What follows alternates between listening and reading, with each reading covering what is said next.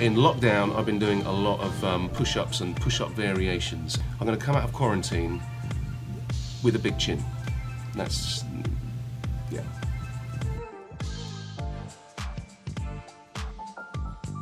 Hey Tom, I'm calling to check in on you and get some self care tips that keep you staying positive. First question What exercise makes you feel the happiest? The exercise that makes me feel happiest? Uh, a bit of a weird question because doing exercises themselves never makes me feel that happy in the moment, but I always feel elated after I've finished. When the gym was open, I like to do chest press and um, big muscle groups around the shoulders and chest. So uh, in lockdown, I've been doing a lot of um, push-ups and push-up variations and getting to grips with my chins. That's my new target, being good at chins this year. I'm going to come out of quarantine with a big chin. That's. What's the one meal that always lifts your spirits? So the meal that always makes me feel good after eating it, I'm going to have to say, and it's definitely, definitely a cheap meal, but it is my favourite, spaghetti bolognese, with loads of grated parmesan and cracked black pepper and a big, big glass of red wine. Oh yes, please. Thank you. What are your feelings on meditation? What are my feelings on meditation? Well, the old me back in the day probably would have been very cynical about it, but that's because of my own ignorance and um, just lack of understanding of what meditation is. Um, I wouldn't say that I practice it myself. Um, I've had a couple of therapists over the years who've suggested it, and um, I've had a go.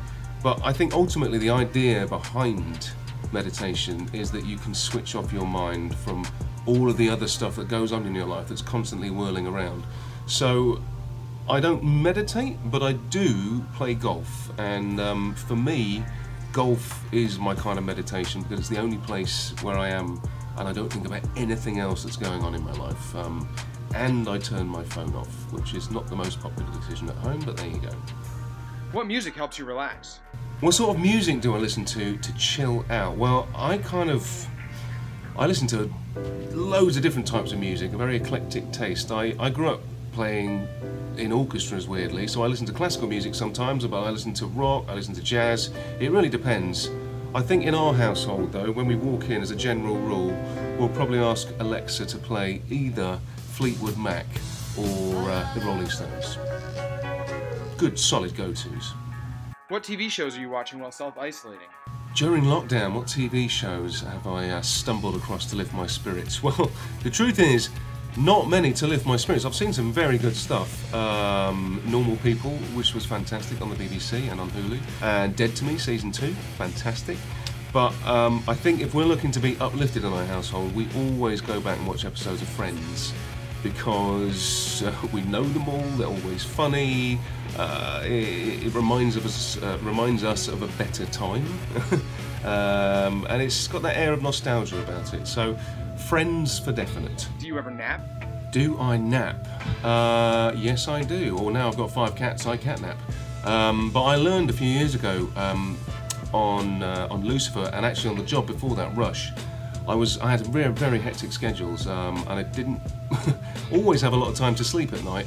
Um, so I learned that going back to my trailer when I had an opportunity and lying down, uh, even for like 10 minutes, and, and, closing my eyes during that time, um, just so I could quieten everything down. Um, it really actually helped, and it would it would give me a lot more energy for the next few hours.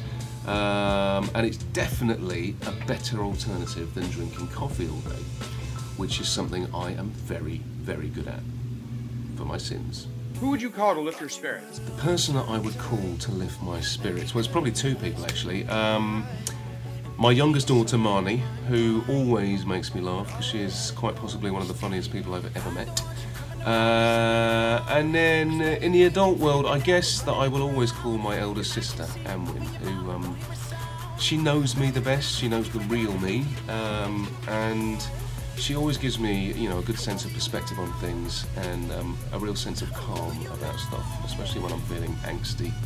Um, so, my sister, I love her. If you could spend a self care day with anyone, dead or alive, who would it be? If I could spend a self care day with anyone, dead or alive, oof, it would have to be, I think, Julie Andrews. Because Mary Poppins, one of my top five films of all time, she came in and she brought that family back together and she lifted those spirits in that house.